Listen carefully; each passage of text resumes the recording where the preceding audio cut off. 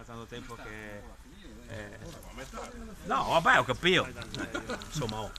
E, ehm, quei che non sarà con noi altri a pranzo li salutiamo adesso. Lucio perché ha un impegno di un convegno. Dopo chi è che, chi è che non viene? Andrea.